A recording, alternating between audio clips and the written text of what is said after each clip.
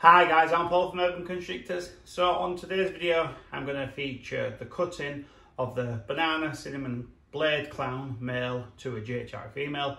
So the purpose of this pairing was to hopefully hit a banana cinnamon GHI, banana cinnamon GHI blade um, for clown to hold back uh, because there's a lot of things I want to do with GHI and clown uh, alongside cinnamon and banana.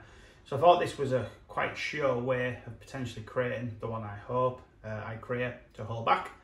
And also I'm going to feature the banana spot nose clown combinations that I've hatched that some of you may have seen on Facebook and Instagram. So I'm going to feature them.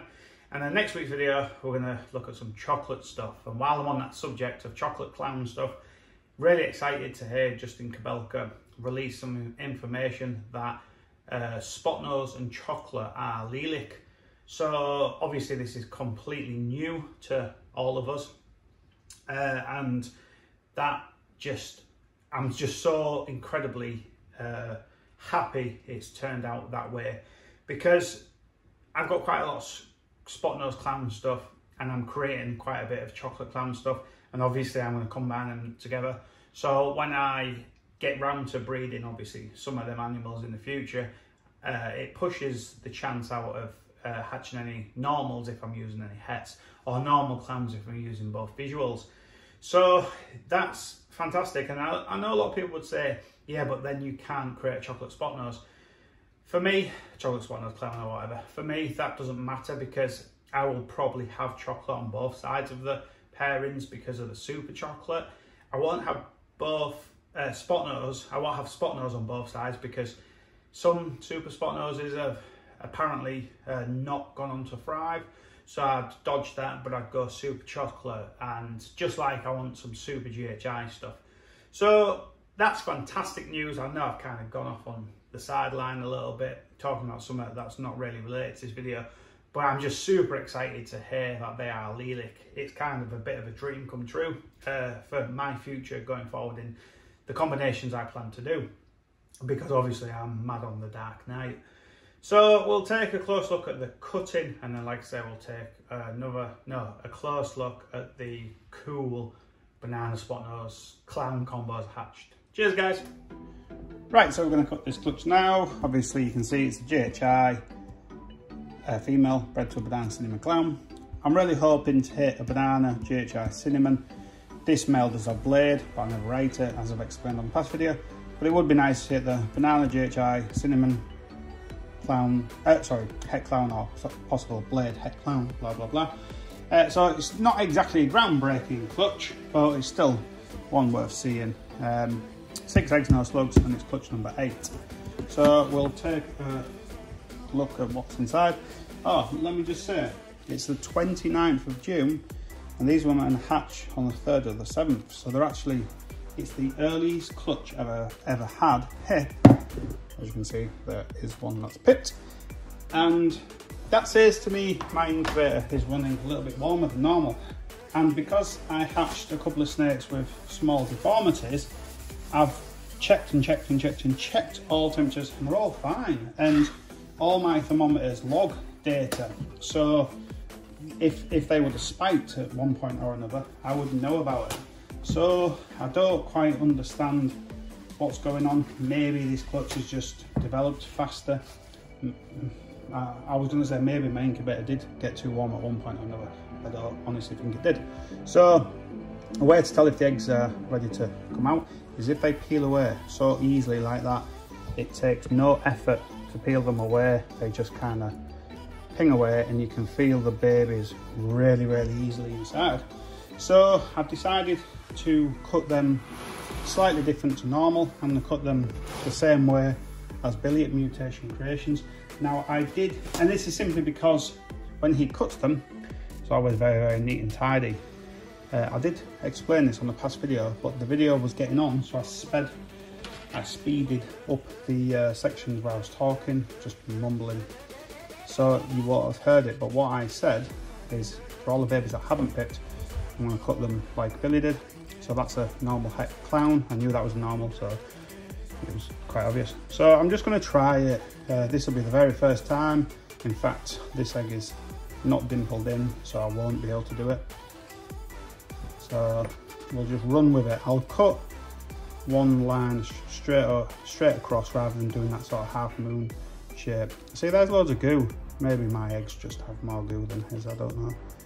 So there's a GHI. I'm not seeing any other genes. Doesn't look like it has cinnamon. Uh, what was the other one? Uh, cinnamon and definitely don't have banana. So GHI het clown. It'd be cool if, if it's a female. Uh, you know I meant to say this for Mickey like I'm getting low. I ordered some more but I didn't like it. It's from my own suppliers. So this one's actually uh, going mad as I'm touching the egg. I didn't touch the baby with the scissors because I pull up, if you notice, I pull up buds. So the baby is clear. So it looks like another GHI. Yep. So yeah, not not so much uh, veins. Actually, no, that's a cinnamon GHI. Oh, that's cool. How is it just a cinnamon? Oh, look at the head coming out. Come on. Uh, could be just a cinnamon. Yeah, I think it's just a cinnamon. Kind of looks a little bit GHI. I'll maybe be able to tell a little bit more once I've cut a few others. So it's still kind of hanging with its head out. Just chilling, look. So I'd like to see some banana colours. Maybe mint to hatch banana, GHI, cinnamon, het female. Would definitely be worth holding back. And a male, but I'm just, ah, there we go. Just love holding them female banana combos back. So, oh, and towards the end of this video, I may have uh, some babies to look at, so stick around for that. So I'm seeing banana, definitely seeing cinnamon. Uh, could have GHI. In fact, I think it does. I think that is the one I just spoke about. Simply because banana cinnamons are just stunning. Stunningly beautiful. One of the best two gene combos, in my opinion, whether the het clown or not. They're just stunning. Now the GHI has kind of muted the colour because they have a much rich colour. So I do believe that is the banana, cinnamon, GHI, het clown. So I try to explain things for the people that are kind of new to identifying genes. So that's why I'm kind of explaining it. For anyone watching thinking, yeah, well, I know that, not everybody does. So that's kind of why I try to explain what I'm seeing. So weirdly, that looked like a pastel for a second then. So another normal. Um, that sucks. So yeah, two normals. You just got just as much chance as hitting the normal as something else. Obviously 100% het clown. So people ask me, do I kill my normals? no, I do not. They go to my shop, Ocean Corals and Reptiles, and they'll be put into pet homes and they'll be loved by families forever. Well, that's just kind of tripped my theory up. So this is definitely cinnamon and banana. Uh, and I'll say GHI as well. So maybe that other one isn't GHI, or maybe that's just uh, the difference from one example to the next. So I'm actually really pleased with that outcome because I hatched potentially two of the best possibilities. And if that other one is a cinnamon GHI, then I'll be very happy because it'll most likely be a girl because these bananas, with it being a male maker, uh, are most, uh, almost certainly boys. So yeah, so my cutting didn't go goo free. But you can see these babies are very close to coming out because the vascular development is almost gone. Veins on the egg walls almost gone. So really cool. So if you haven't been following my channel for long, what I do is after I cut the eggs, they just go straight back in the incubator and they come out naturally when they're ready. The the, the cutting of the eggs is just to secure the baby uh, future of exiting the egg uh, uh, very, very easily and without any obstruction. So they go back in the incubator, they will come out on their own accord in about 24 hours. They'll be out, they just wait till they absorb the last bit of their yolk up. And then on the next video, I will show this clutch. So every clutch cutting, this is how I'm doing it from this point, well, from a couple of videos ago. Uh, every clutch you see me cut on the following video, you'll see the babies out. So unless it's, maybe I might miss one or two if it's a really boring clutch. Uh, see, look at the top of the egg box, I just dropped loads of water on the floor, you have heard it uh, a couple of seconds ago. That's them uh, letting all the moisture out. That's a, another indicator when your eggs are about to start pipping, just massive moisture build-up. But that does happen for uh, a couple of weeks, so don't see moisture build up and then think they're ready to come out. Right guys, so we're going to go in reverse order. So this is uh, the first hatchling I want to show today, and it's a spot nose 100% het clown. First spot nose I've hatched that isn't a visual clown combo, so I was quite uh, pleased to see that. Uh, even though it's obviously a lower end combo, it's always nice to actually know exactly what you're working with. So I was actually pleased to hatch this one and this female sold almost immediately. So that's a cool spot nose, really good quality I think, because it's just golden, uh, good quality spot nose het clown. So next up is a banana het clown. Uh, this turned out to be female, which uh, was the only female banana in the clutch unfortunately. Really disappointed with that, but you know, you can't win them all. Uh, I've got to just be pleased for hitting the combination I want. And check out that head stamp. Uh, just what's interesting is this banana is so incredibly clean and perfect. She is exactly what her mother is.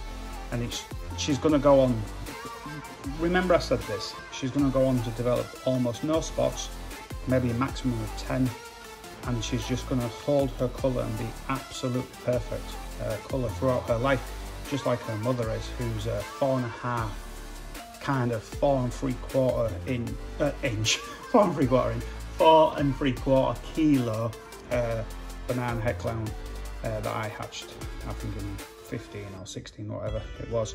So Glenn Felton uh, bought this female and he's going to be extremely pleased with her and her quality.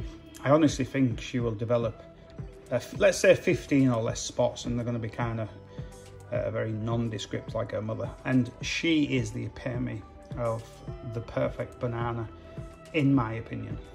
So next up is what I've dubbed the thing. Uh, just a ridiculous snake, just absolutely ludicrous. So I believe genetically this is a pastel banana and it is 100% het clown. It's got the paradox of a pastel. It's got the paradox of a banana clown.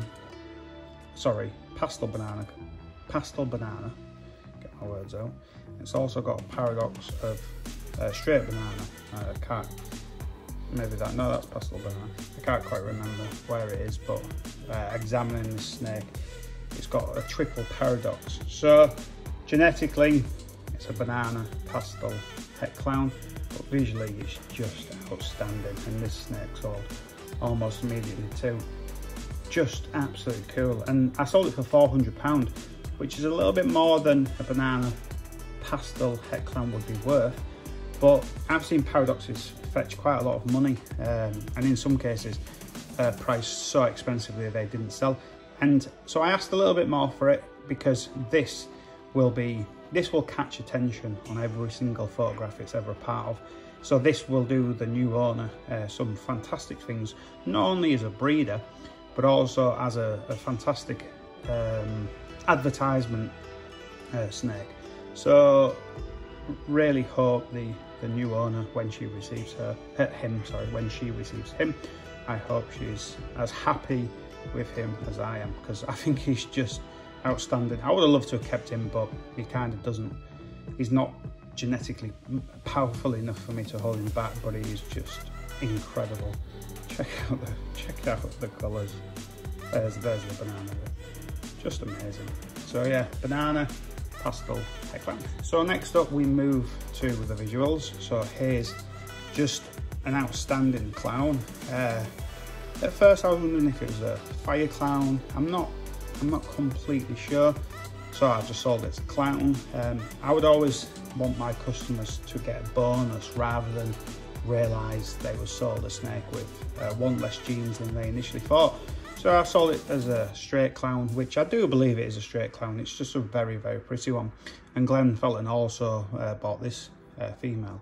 So just a really, really beautiful uh, top quality, uh, fantastic example of a straight clown. So next up is a, a pastel spot nose clown. Uh, I, I think this is the best pastel spot nose clown I've ever created. It's got the most amazing head pan. It's almost completely symmetrical. Just real fantastic canary yellows with a little bit of noise, but not too much. And just a really, really pretty, very, very pretty uh, example. So really just blown away by the quality of this one.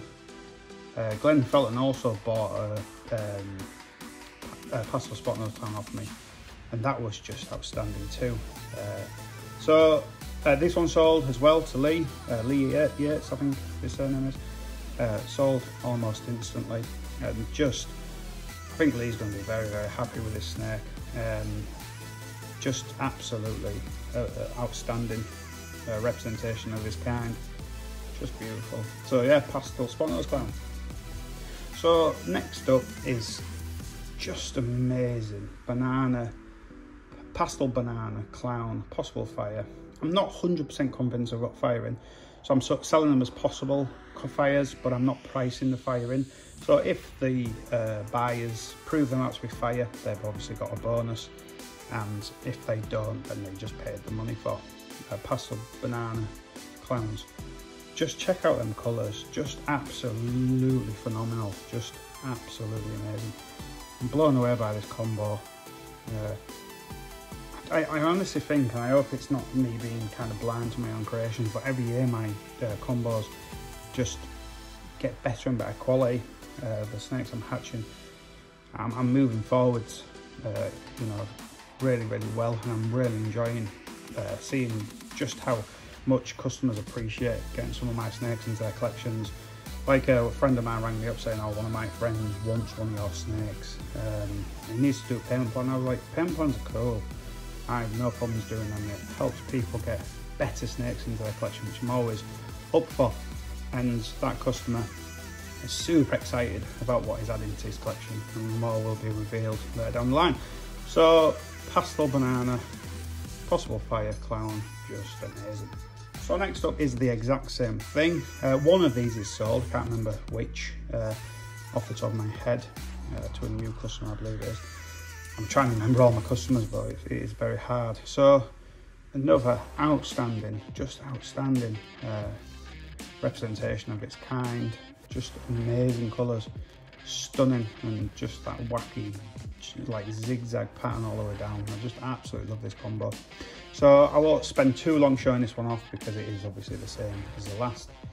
So next up is the pastel spot nose banana clown. So just amazing. This one sold also immediately. So adding the banana gene to the pastel spot nose clown doesn't create too much more uh, a pattern. It just completely changes colour. But what's quite interesting is because of the pastel involved, it kind of mutes the banana a little bit and it kind of blends together a bit more sort of equal, so equal amounts of spot nose present, equal amounts of pastel and equal amounts of banana. So it makes a really beautiful uh, tone uh, to it, really, really nice. And it brings out some amazing sort of crisp lines and beautiful oranges within the teardrops.